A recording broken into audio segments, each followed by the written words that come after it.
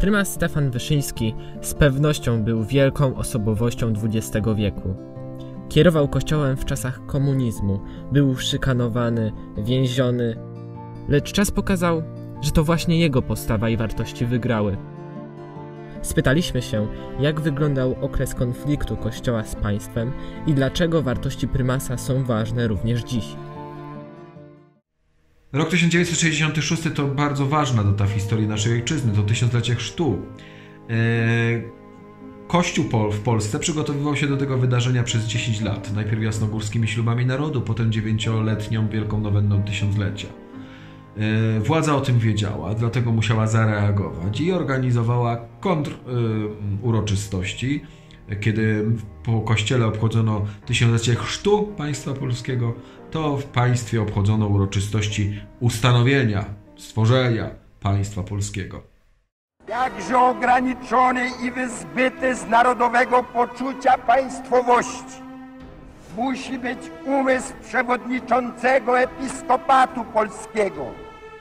Jakież to musi być zaślepienie tego kierownika episkopatu polskiego i jego popleczników, lansujących pokraczną, antynarodową ideę przedmurza. Była wielka draka między Gomułką a Wyszyńskim. Gomułka chciał zrobić uroczystość państwową, Wyszyński natomiast pod patronatem kościoła. Obaj byli wrogami swoimi. Gomułka ostatecznie poniósł fiasko.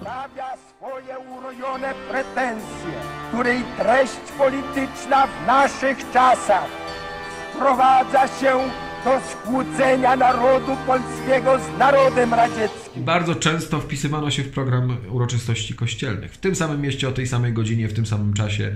E, kiedy prymas przemawiał, to tam w innym miejscu, a najczęściej bardzo blisko tych miejsc, gdzie przemawiał prymas, stawiano tubę propagandową, tam występowali partyjniacy. E, zawsze tylko i wyłącznie po to, żeby e, odciągnąć ludzi od wydarzeń kościelnych, a dać im coś w zamian.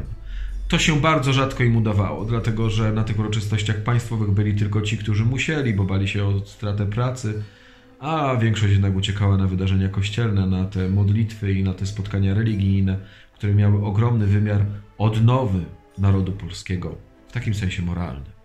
Trzymali władzę i nie zgadzali się z Kościołem. W czasach Gomułki y, partia była przeciwna religii, do partii nie przyjmowano ludzi wierzących po prostu była walka z Kościołem. Wierzący nie mógł należeć do partii, dlatego że partia była ateistyczna i były takie poglądy, że ludzi bez matury przyjmują do partii, ale z maturą muszą, muszą już przekonywać, że są komunistami. Wierzący nie mógł być w partii, dlatego że idea partii była ateistyczna. Kwestia naszej wiary nie jest e, czymś całkowicie wymyślonym, nie jest czymś fikcyjnym, jak niektórzy by chcieli uważać. To jest sprawa, która dotyka absolutnych fundamentów. To dotyczy człowieczeństwa, człowieka jako jego samego, człowieka, który jest fundamentem myślenia tutaj, człowieka, który został stworzony przez Pana Boga. Z tego wynika potem, godność kobiety, ochrona życia i te wszystkie sprawy, o których nieustannie mówił kardynał e, Stefan Wyszyński, prymas tysiąclecia. Z tego wynika także prawo do wolności, wolności niczym nieskrępowanej, a nie takiej, jaką kreował nam komunizm. Te wartości są warte, ważne także dzisiaj, bo one są bezcenne i uniwersalne. I choć ten świat kręci się w różne strony i pojawiają się w życiu e, wielu pokoleń różne zakręty dziejowe, to te wartości są niezmienne. Dlatego tak cenne i dlatego trzeba nam nieustannie je w sobie pielęgnować i stawać w ich obronie. Możemy wyciągnąć takie wnioski, że e, reżim, jednowładztwo nigdy nie popisuje i zawsze kończy się fiaskiem.